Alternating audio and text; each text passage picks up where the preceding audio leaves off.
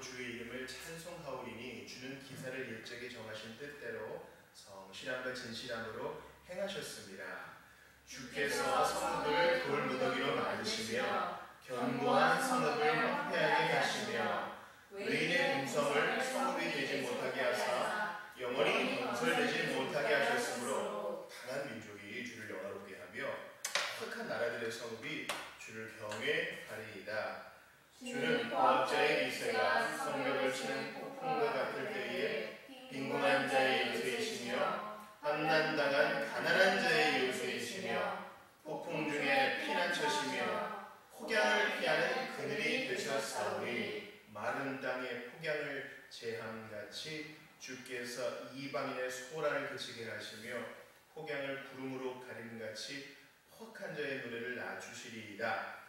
만군의 여호와께서 이 산에서 만민을 위하여 기름진 것과 오래 저장하였던 포도주로 연회를 베푸시니 곧 골수가 가득한 기름진 것과 오래 저장하였던 맑은 포도주로 하실 것이며 또 이 산에서 모든 민족의 얼굴을 가린 가리개와 열방 위에 덮인 덮개를 제하시며 사망을 영원히 멸하실 것이라 주 여호와께서 모든 얼굴에서 눈물을 씻기시며 자기 백성의 수치를 온 천하에서 제하시리라 여호와께서 이같이 말씀하셨느니라 그날에 말하기를 이는 우리의 하나님이시라 우리가 그를 기다렸으니 그가 우리를 구원하시리로다 우리는 그의 구원을 기뻐하며 즐거워하리라 할 것이며 여호와의 손이 이 산에 나타나시니 모압이 거름물 속에서 초계가 밟힌 같이 자기 처소에서 밟을 것인즉 그가 헤엄치는 자가 헤엄치려고 손을 편 같이 그 속에서 그의 손을 펼 것이라 여호와께서 그의 교만으로 인하여 그 손이 능숙함에도 불구하고 그를 누르실 것이라 내 성벽에 높은 요새를 걸어 땅에 내리시되 지은 후에 미치게 하시리라 아멘 소리 인사합시다. 안녕하세요. 반갑습니다. 안녕하세요. 예, 맞습니다. 음, 오늘 새벽에도 말씀드렸는데 어, 이번 주로 이제 그, 이, 주중에 새벽에 봤던 시편이 딱 마무리가 돼요. 더울 때 시편 1편을 시작했는데 이제 금요일에 시편 50편을 마무리합니다. 또 돌아오는 주일에 누가복음 24장을 끝냅니다. 그리고 이제 종교개혁 기념주일과 세미나를 갖고 새벽에는 로마서를 보려 하고 또 주일에는 토타 스크립트라 이렇게 보려고 해요. 아, 그래야 앞으로 60, 6주 중에 39주는 구약을 볼 거니까 이제, 이제 새벽에는 신약을 좀 봐야겠죠. 아, 이렇게 좀 매듭이 좀 이렇게, 이렇게 좀 맞아 들어가는 것 같아서 의도하지 않은 것에도 감사하고 또 누가복음의 52주 딱 클로즈 된다는 거에 대해서 감사를 드리고 그렇습니다. 그러면서 우리가 이제 딱 수요일에 성경 전체가 할수 있는 작은 성경이라 할 수 있는 이사야 66장에 이제 25장과 6장 중반을 보게 되는 것입니다. 지난주에 23장과 4장을 봤잖아요. 뭐가 기억나세요? 두루와 시도의, 시돈에 대해서. 두루와 시돈은 뭐 하는 나라입니까? 이 무역하는 나라죠. 교역하는 나라. 배를 띄워가지고. 아무튼 유통업체예요. 돈 버는 업체지만 그들의 교만으로 인하여 그들이 그 타던 성읍이 다 빈껍질이 된다 하였죠. 그러나 이스라엘 즉 유다 나라와 마찬가지로 그들도 70년 이후에 귀환하게 돼서 그들의 신앙이 어땠는지 모르겠지만 아무튼 자신들의 것으로 주님을 섬기게 될 것이다. 남은 자들이 있을 것이다. 그래서 우리가 사도행전 보았죠. 거기서도 바울 영접한 사람들이 있지 않아요. 세계 민족 중에서 이러한 일이 있으리니 곧 감람나무를 흔든 같고 포도를 거둔 후에 그 남은 것을 주운 같을 것입니다. 이렇게 정신이 없이 하나님께서 두루와 시돈 비롯해서 온 민족을 흔드실 때에 흔드실 때에 하나님께서 남은 자 주신다는 거예요. 제가 어제 오랜만에 친구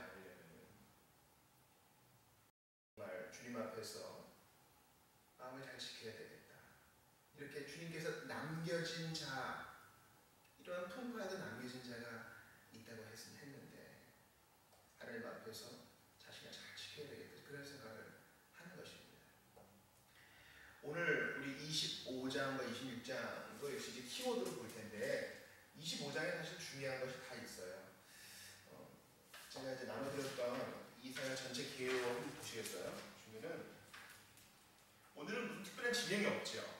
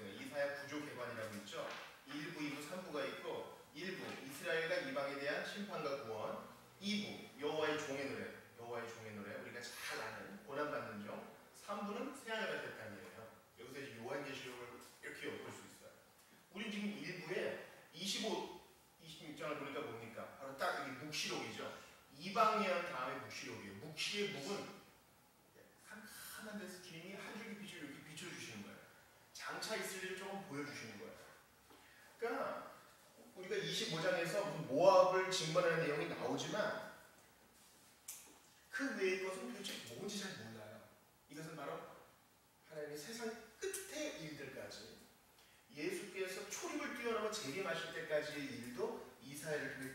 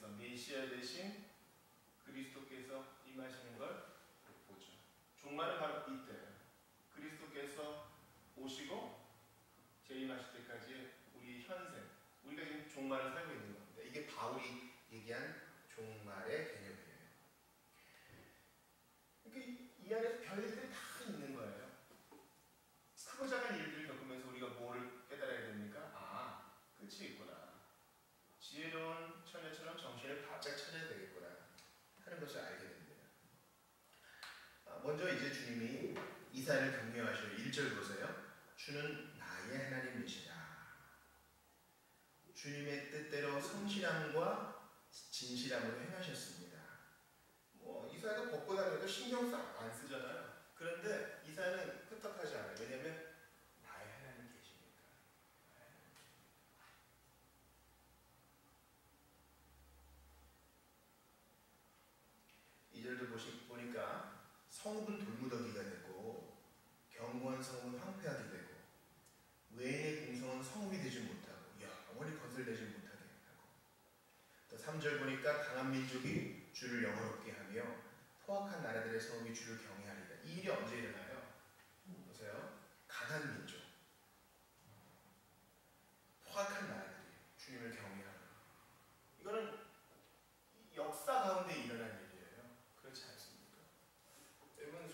this off.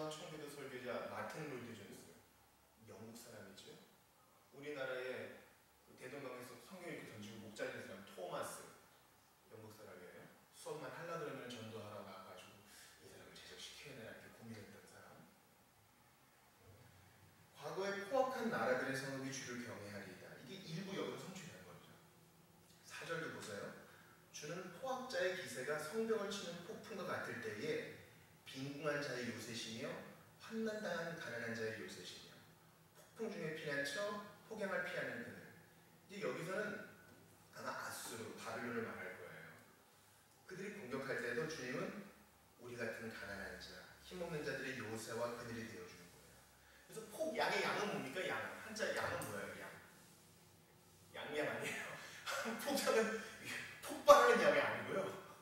양편, 양의 한낮에 뜨거운 태양빛 같은데 그늘이 되어주는 거예요. 마른 땅에 폭양을 지함같이 주께서 이방인의 소란을 그치게 하시며 폭양을 구름으로 가림같이 포악한 자의 노를 낮추십니다. 그러니까 이 포악한 자의 실체는 바로 음녀, 이세벨과 같은 음녀, 갇힌 영,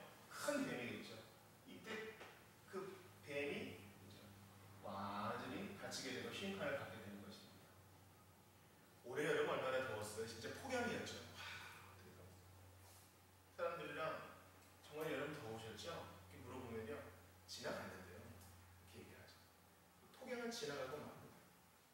뭐 아스이건 바벨론이건 큰 지진과 해인이건 그리고 지금 패권을 잡는 어떤 나라들이건 다 지나가고 맙니다.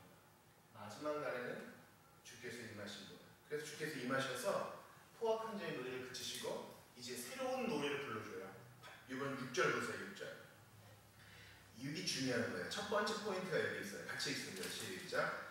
만군의 여호와께서 이사에서 만민을 위하여 기름진 것과 오래 저장하였던 포도주로 연애를 베푸시니 곧 골수가 가득한 기름진 것과 오래 저장하였던 맑은 포도주로 하실 것이다. 우리는 이러한 연회의 맛을 어디서 본다고요? 교회에서 봐요. 왜냐면 이 산이 어디예요? 이 산. 이 산은 시원산 그죠? 시원산은 무엇을 가리킨다? 복음교회를 가리킨다. 이거는 공식이니까 기억해 놓으세요. 이 산은 바로 복음교회를 가리켜요. 근데 주님이 지금도 우리가 모일 때마다 교회에서 이 복음잔치의 맛을 누리게 하시고 마지막 날에는 온전하게 맛볼 것인데 여기서 연회의 음식이 뭐예요? 기름진 것과 그리고 맛있는 거 이- 이때는 기름 먹고 별로 사, 한철 걱정 안 해도 되겠어요. 그 다음에 오래 저장했던 포도주 우리를 먹이신 거예요. 기름진 거는 먹을 거죠. 그러니까 배를 불려줘요. 배부름을 준다. 포도주는 음료수니까 목마름을 해결해 줘요.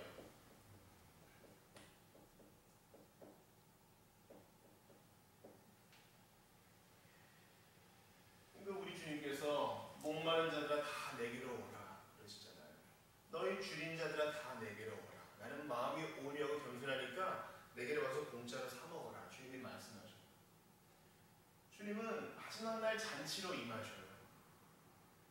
그러니까 지금도 이 연애의 맛을 우리가 일부 복음 교회에서 맛볼 수 있다 그랬어요. 이 산. 그럼 한번 이것을 논리적으로 생각해 봅시다. 교회에 오는 사람들, 교회에서 진짜의 잔치를 맛보는 사람들은 어떤 사람들? 배고픈 사람들, 목마른 사람들, 세상에 정줄 수 없어서 어디에서도 안정을 찾지 못하는 사람들, 자기가 배고프고 자기가 줄이고 목마른 상태라는 것을 아는 사람들이에요. 복음은 줄이고 목마른 것, 자기의 영혼이 줄이고 목마른 것을 깨닫는 사람만이 참 복음의 역할을 합니다. 우리의 기도가 그래서 어떻게 바뀌어야 됩니까? 하나님, 복음을 깨닫지 못한 자가 자기 실체를 좀 파악하게 도와달라. 자기 사실 자기 실체를 파악하기 위해 그렇게 오랜 여행하는 거 아닙니까? 주님이 환란을 주시고 고난을 허용하시는 이유도 이 꼬라지를 알아야 내가 필요한 줄 안다 하는 거예요. 아 주 죽기 살기로 병원에 안 가는 사람이 있어요. 그래서 뭐 기침을 하고 뭐 피가 나는데도 괜찮다. 그래서 억지로 병원에 끌고 갑니다. 그제서야 의사가 이런 이런 병이 있다 일단 얘기해줘야 정신을 바짝 차리는 거죠. 성령께서 모든 도구를 사용하셔서 줄이고 목마른 것을 깨닫게 해주실 때 교회에서 비로소 연애의 맛을 볼 수 있는 거예요. 그럼 이제 불신자라고 할 수 있겠죠? 자기가 줄이고 목마른 것을 아는 사람. 근데 신자도 마찬가지예요. 신자도 이 연애의 맛을 봐야 돼요. 여러분 우리가 아플 때요.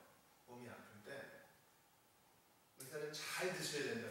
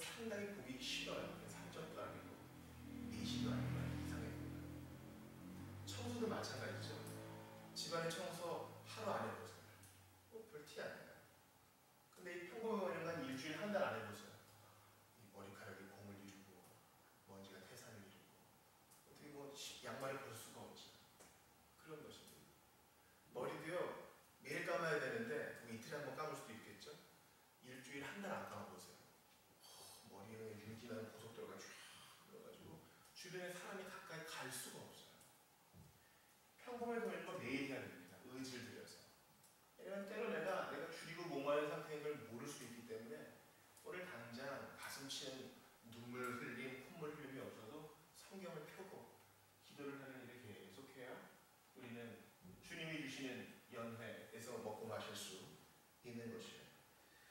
예수님은 자신을 믿는 것을 이 먹고 마시는 것을 비유하셨어요. 우리 이사야 25장 딱 접어놓고 요한복음 한번 찾아볼게요. 요한복음 56장 53절부터 58절까지 한번 볼게요. 교독을 하죠.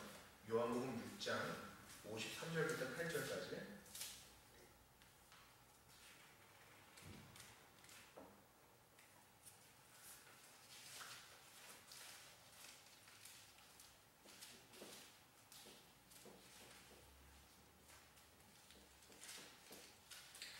아, 사신 줄 알고 요한복음 6장 53절부터 58절까지. 이제 수건 내는 자들에게 어, 우리 주님께서 자신을 믿는 것에 대해 이렇게 말씀하셔요. 우리 교독합시다.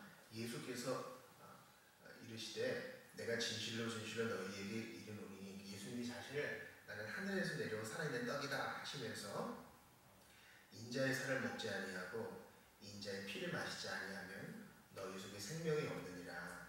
내 살을 먹고 내 피를 마시는 자는 영생을 가졌고 마지막 날에 내가 그를 다시 살리니 내 살은 참된 양식이요. 내 피는 참된 음료로다. 내 살을 먹고 내 피를 마시는 자는 내 안에 거하고 나도 그의 안에 거하니 살아계신 아버지께서 나를 보내시며 내가 아버지로 말미암아 사는 것 같이 나를 먹는 그 사람도 나로 말미암아 살리라. 이것은 하늘에서 내려온 떡이니 조상들이 먹고도 죽은 그것과 같지 아니하여 이 떡을 먹는 자는 영원히 살리라. 그렇습니다. 매 절마다 먹고 마시는 얘기가 하나씩은 다 들어가 있죠 그래서 이제 우리가 성찬을 강조하는 이유가 여기에 있고 특별히 우리 주님이 얼마나 인지하신지 잘 믿지 못하는 우리를 위하여 매일 하는 매일 세 번 이상씩 하는 뭐 주전부리를 먹으니까 매일 뭐열번 이상씩 하는 이 먹고 마시는 것을 통해서 믿는 것을 설명해 주셨어요. 그러니까 다시 25장 이사야 25장 6절을 봐요. 만민을 위해서 기름진 것과 만민 이 산에 오는 모든 만, 믿는 모든 만민이 와서 기름진 거 먹고 오래 전해냈던 포도주로 연애 베푸시는 걸 즐겨요. 골수가 가득한 기름진 거 먹고 오래 저장했던 맑은 포도주로 하며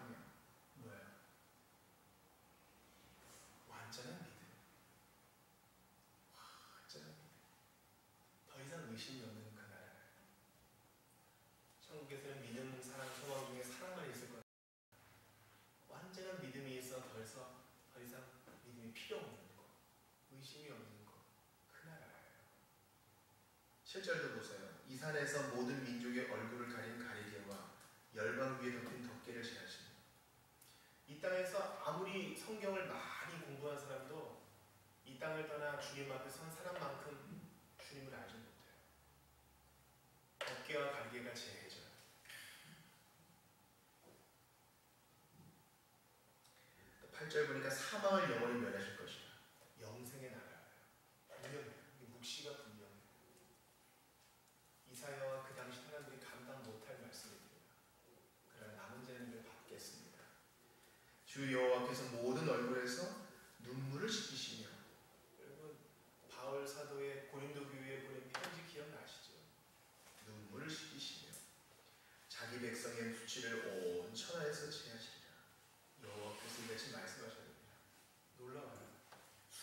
6천 년을 뛰어넘어서 이사야가 지금 이 이야기를 하는 것입니다. 우리 주님은 우리가 감당치 못한 말씀을 주셔. 이 나라가 있으니까 지금 조금 손해보는 거 있어도 괜찮은 거예요. 이 잔치가 있으니까 괜찮은 거예요. 우리 이름 하나 불러줄 거죠. 우리가 이제 밥 먹는 자리에서 시사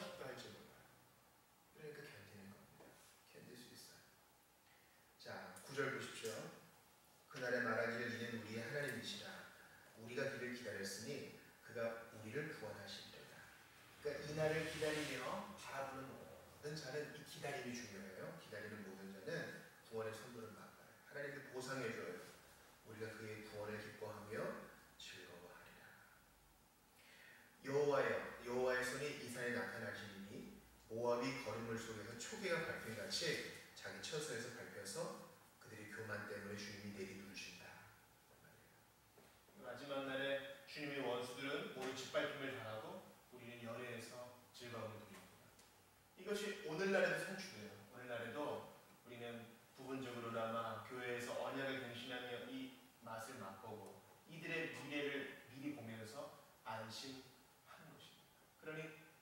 평범한 일에 더욱더 힘을 써야 됩니다. 우리의 줄이고 목마른 상태를 인정하면서 그러한 느낌이 없을지라도 의지를 들여서 꾸준히 기도와 말씀을 심어야 돼요. 자 이제 26장을 봅니다. 26장은 21절까지 있는데 한번 크게 교독해 볼게요. 그날에 유다 땅에서 이 노래를 부르리라. 우리에게 견고한 성읍이 있으며 여호와께서 구원을 성벽과 위백으로 삼으시리로다. 너희는 문들을 열고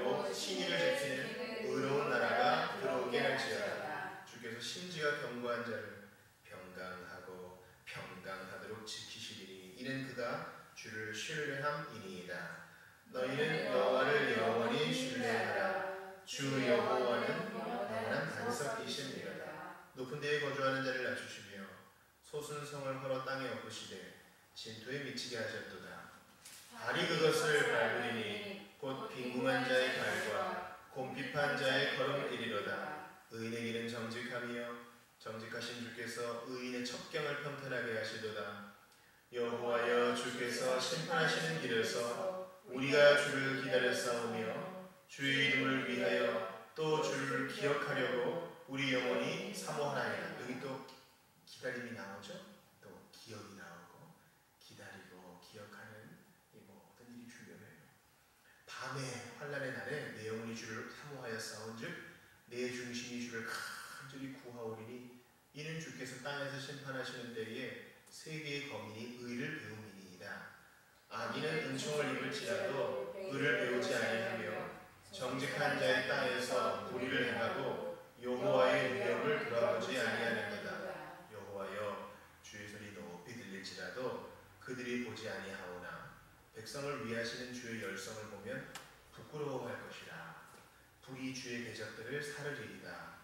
여호와여 주께서 우리를 위하여 평강을 베푸시오리니 주께서 우리의 모든 일도 우리를 위하여 이루시니이다. 아멘. 우리를 위하여 여호와 우리 하나님이시여 주 외에 다른 주들이 우리를 관할하여 싸우나 우리는 주만 의지하고 주의 이름을 부르리이다. 그들이 죽었은즉 다시 살지 못하겠고 사망하였은즉 일어나지 못할 것이니 이는 주께서 벌하여 그들을 멸하사 그들의 모든 기억을 없이 하셨음이니이다. 여호와여 주께서 이 나라를 더 크게 하셨고 이 나라를 더 크게 하셨나이다. 스스로 영광을 얻으시고 이 땅의 모든 경계를 확장하셨나이다. 여호와여 그들이 환난 중에 주를 악무하여 싸우며 주의 징벌이 그들에게 임할 때에 그들이 간절히 주께 기도하였나이다. 여호와여 잉태한 여인이 상기가 임박하여 산모를 겪으며 부르짖음같이 우리가 주 앞에서 그와 같으니이다. 우리가 잉태하고 산모를 당하였을지라도 바람을 낳은 것 같아서 땅의 구원을 베풀지 못하였고 세계의 거미를 출산하지 못하였나이다. 주의 죽은 자들은 살아나고 그들의 시체들은 일어나리이다. 티끌에 누운 자들아 너희는 깨어 노래하라. 주의 이슬은 빛난 이슬이니 땅이 죽은 자들을 내놓으리로다. 내 백성아 갈지어다. 내 밀실에 들어가서 내 문을 닫고 분노가 지나기까지 잠깐 숨을 지어다. 같이 봅니다. 보라 여호와께서 그의 처소에서 나오사 땅의 거민의 죄악을 벌하실 것이라. 땅이 그 위에 찾았던 피를 드러내고 그 살해당한 자를 다시는 덮지 아니하리라. 아멘. 저 뒤에 저 문을 좀 닫아주실래요? 예. 우리가 이것이 몫이 마지막 날에 대한 것을 어떻게 알 수 있어요? 19절 보셔요. 죽은 자들이 살아나고 땅이 죽은 자들을 내놓으리라. 그러니까 여러분 영생은 영원히 사는 것은 모든 영혼이 다 영원히 살아요. 그러나 그것이 부활의 영생이냐 아니면 심판의 영생이냐 이게 다르죠. 이것 때문에 이제 얼마 전에 존 파이프 목사님이 다국적인 신자는 내장을 하나님은 당신의 그 초자연 바뀐 방법으로 땅에 매잘된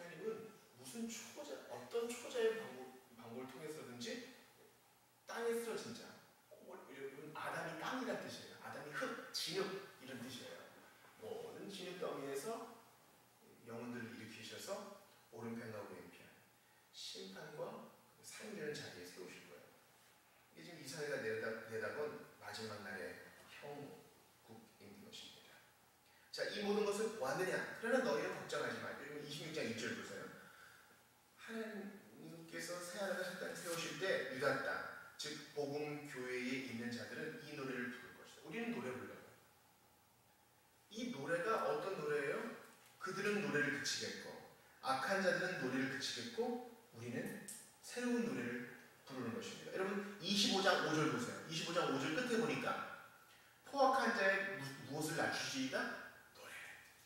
주님 오시기를 포악한 자들은 노래를 부르며 먹고 즐기지 하지만 그날이 되면 그들은 노래를 뚝 그치겠고 이제 우리의 노래가 시작돼요. 어린 양의 노래.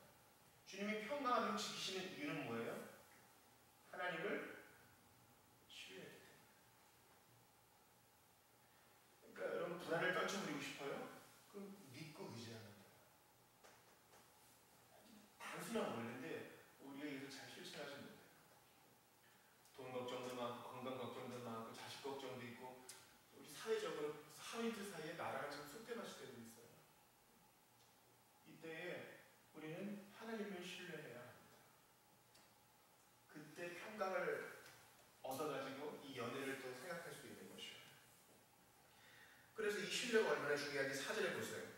신뢰하는 자만의 평강을 누릴 수 있으니 사절 같이 읽어요.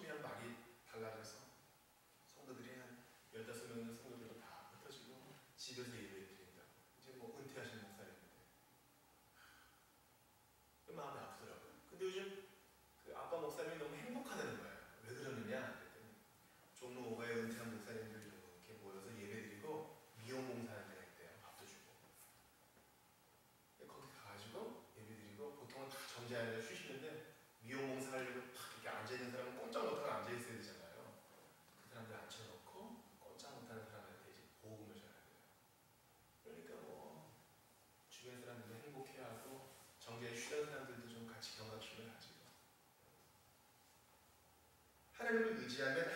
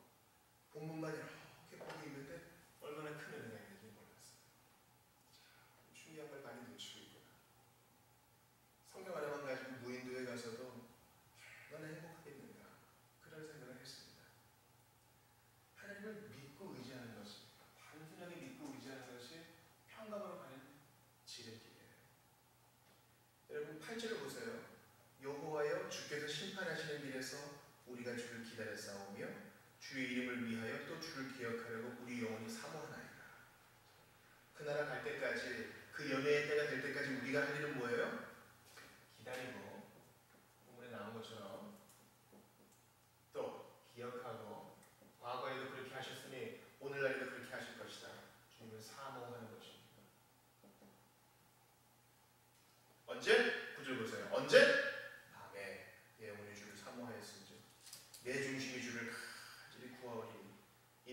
땅에서 심판하실 때에 세계의 거민이 을을 배우이니 왜요?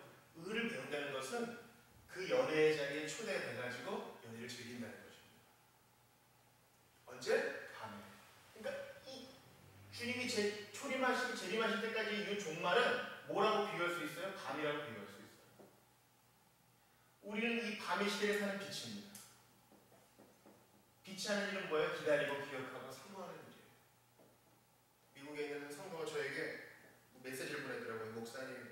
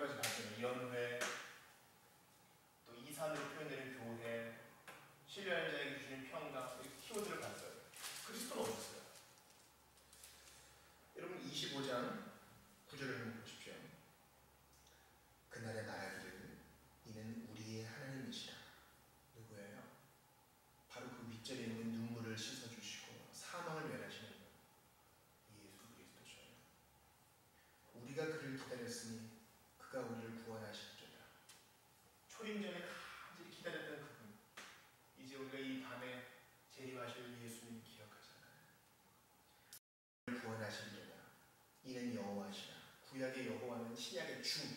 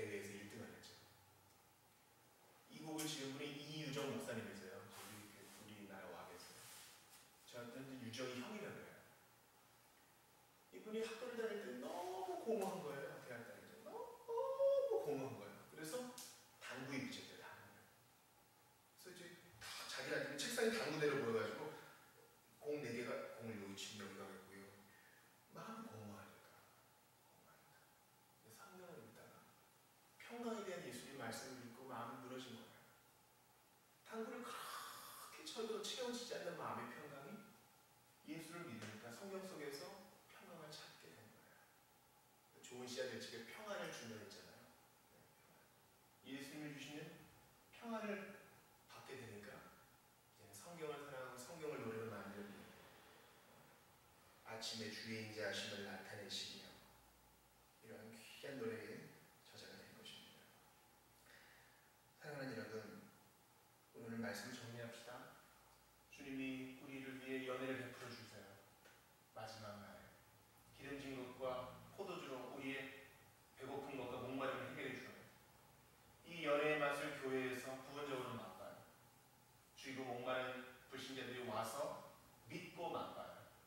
이미 막건 신자도요. 영혼이 병들었을 때는 의지를 들여서 평범한 일에 힘써야 돼요.